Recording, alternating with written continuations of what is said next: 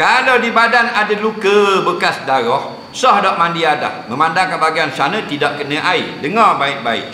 Jika ada pada badan orang yang nak mandi junub, kepak yang tak boleh kena air, wajib tayamum di tempat itu. Kerana tayamum ini dua sebab. Satu, tidak ada air. Yang kedua, air ada tapi tak boleh kena air sebab sakit.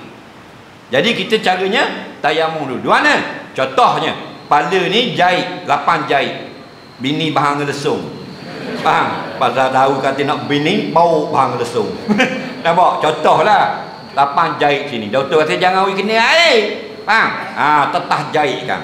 Maka wajib kita tayamum dulu. Eh gana tepuk tangan debu ambil debu ambil tanah bola pinggang mana nak rumah tepuk dulu.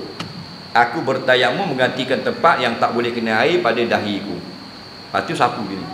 Pelahang dah Jangan genyeh pula atas luka. Faham? Pelahang itu. Okey? Lepas tu tepuk yang kedua, tangan kanan dan tangan kiri buat gitu. Okey. Neh. Habis tayamum, mandi junub. Mandi semua wajib kena air, melainkan dahi jangan we kena air. Kan? Sah semayang. Faham lagi? Ha, cara dia mudah.